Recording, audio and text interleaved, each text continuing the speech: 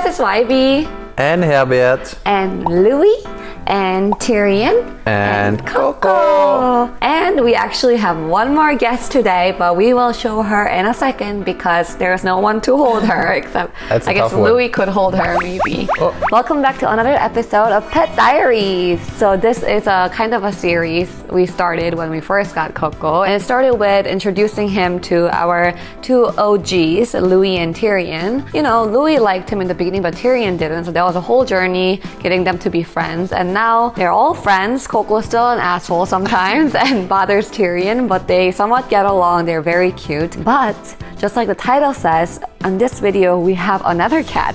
So the cat we're gonna introduce is named Amber, and she is also a ragdoll just like Coco. And you guys have actually met her before. She was in my Korea vlog when I went to Korea two years ago. She was in Korea with my parents, and we met her briefly there. I actually became quite close to her there, but didn't see her for you know over a year, and she probably forgot about me.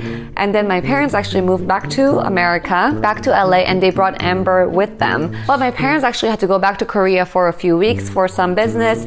So then Amber was left with us. and that wasn't easy all the time. And that's when this story starts. Hey guys, before we continue, let me quickly go over DreamCloud. So thank you DreamCloud for sponsoring this video. DreamCloud is a premium hybrid direct-to-consumer mattress that is now the most awarded luxury hybrid in the US. It features a dreamy blend of memory foam and individually wrapped springs, and each mattress is cashmere topped and beyond comfortable. Just like the name, the mattress will give you the best sleep of your life like sleeping on a cloud. This award-winning mattress has sold over a million mattresses. It has a 365 night home trial. It also has free shipping and returns and forever warranty. Now there are three kinds of mattresses. There's a Dream Cloud mattress, Dream Cloud Premier mattress, and the Dream Cloud Premier Rest mattress. The first two are 14 inches in height and 7 layers. The Premier Rest mattress is a 16 inch height with 8 layers. So I got the Dream Cloud Premier for my room in my parents' house. This is a bed that I slept through high school, so it's a really old bed and I wanted a new mattress for whenever I sleep with my parents.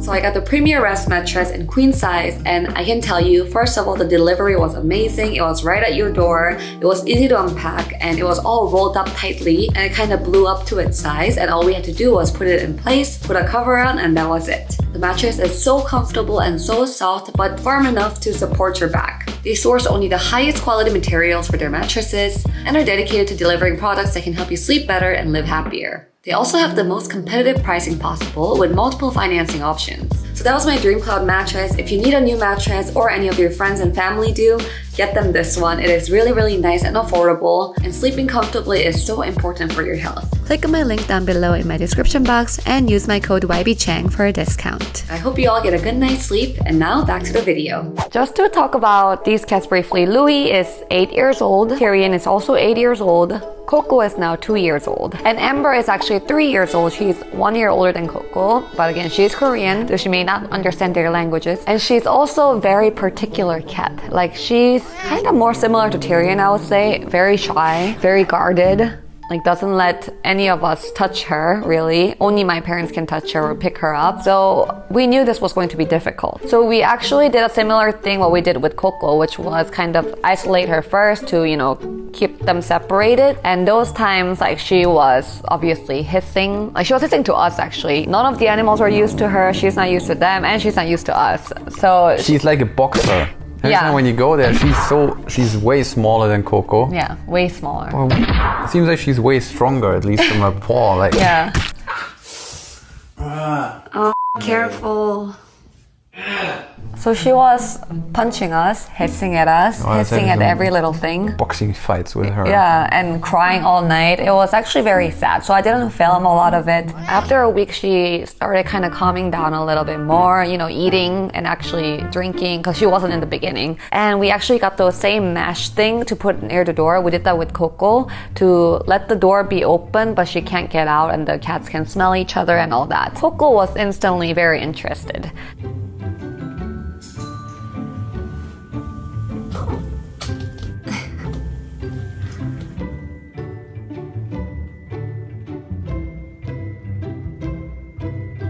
So we let him in a few times in the room because we knew he wasn't gonna do anything. He was actually very interested to meet her. She was hissing at him, and he seemed to respect her space at least.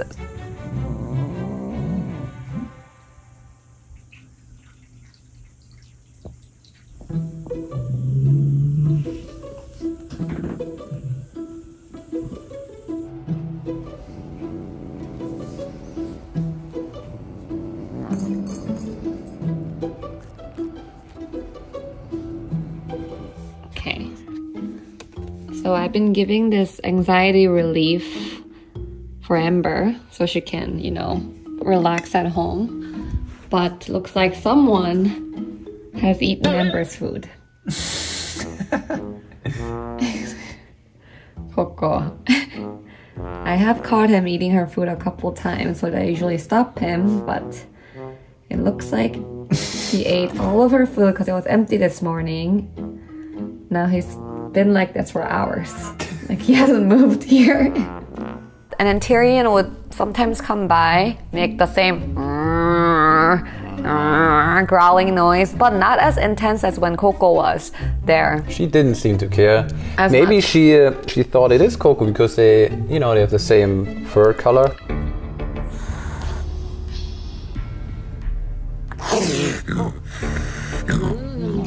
I think she was now kind of used to having a new family member around because maybe she got used to that with Coco. I don't know. Since we moved to this house, we have way more space than we did in the apartment when we got Coco. She had her own like space the whole time. She had her territory, so I don't think she minded as much. And then a few days later, I removed the mesh and let Amber roam around.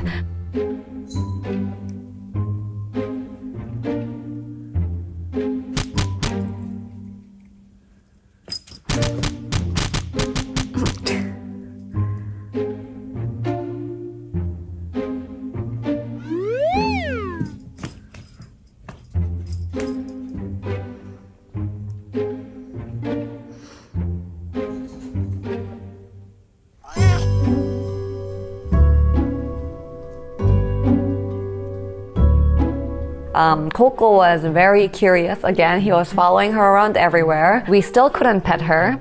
You know, we couldn't go too close to her without her hissing at us, but at least now she was kind of freely roaming around, not shutting herself in one corner. Tyrion would just kind of watch her from a distance. Louis would too. Louis kind of actually respected her also. I feel like he didn't really care for her. Louis is a legend. Yeah. So kind to new animals. Yeah. And old animals and yeah. small and big. He was just chilling like he is right, right. now.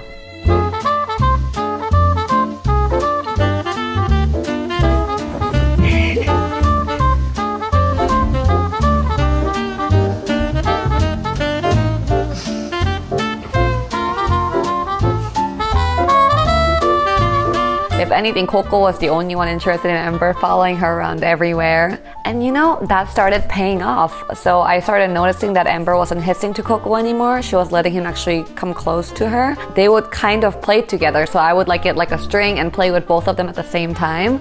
And they would play. So at each other's presence, they would play. She started using the bathroom like right in front of Coco, which I think was like a sign that she was getting more comfortable. Like Coco would just watch her pee interesting. You know? Sir, don't do that. Yeah.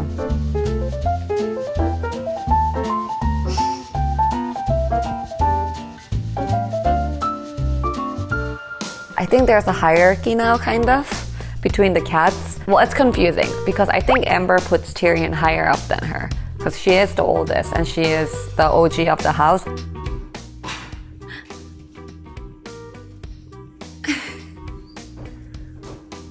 Amber, don't punch her. Okay. Tyrion did her little growl, so Amber's backing off. T, be nice. I think Tyrion ranks the highest. However, I don't think Coco respects Tyrion. I think he just treats her as a big sister, so he like bothers her all the time. And Tyrion like hisses at Coco to put him down, but never like hits him either.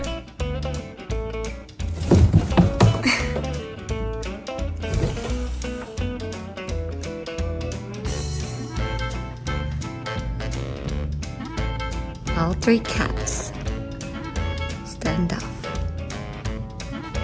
Who's gonna make the first move?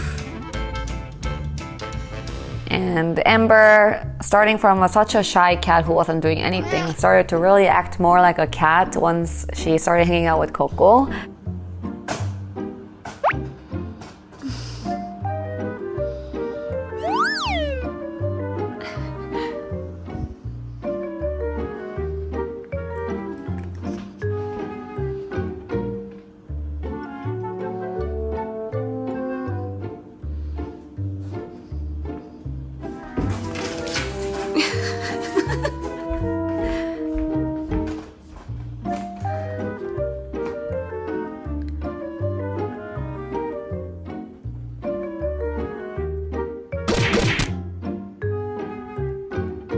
Laying, flopping around. Yeah, flopping around, playing even the same way, and what's flopping around? Like, you know, just like lay, flopping. Like kind of like this, yeah. just by himself. Yeah. He just lays down. Yeah, and Amber started doing that too. Okay, she just came to lay right there while I'm here.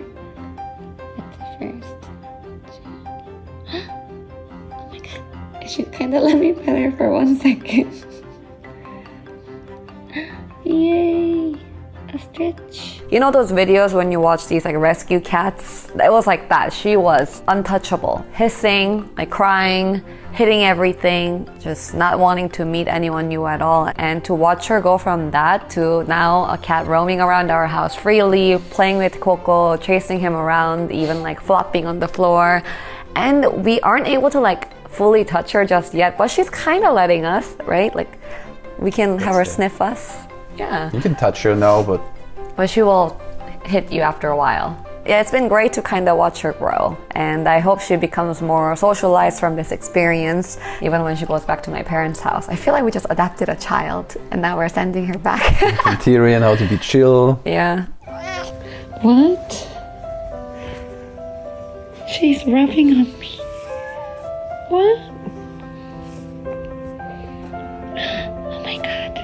Think she's I think she's confused. She, she just rubbed on me for the first time on the day she's supposed to leave. What? What is going on? What, Amber? What's going on? Coco, do you know what's going on? Why is she doing that to me? She hated me.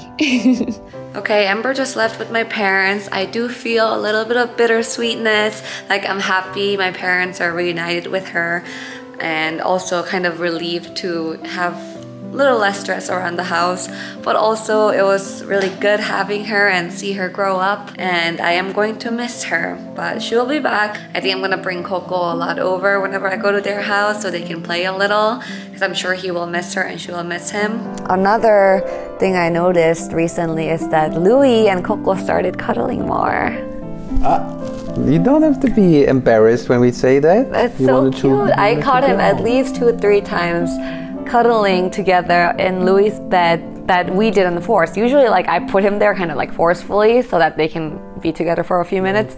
But I would observe, and Coco would just go into the bed by himself while Louis is there and start sleeping with him. And I think that's so cute. That was cute. So that was our latest pet diary and updates on our all our pets, including our new friend Amber, who hopefully is gonna be a regular visitor and Coco has made a new friend, and Amber also has made new friends, which I think is good for her. And remember to check out the link down below for Dream Cloud Mattress with my promo code YBChang. So thank you guys for watching, and we'll see you next time. Bye!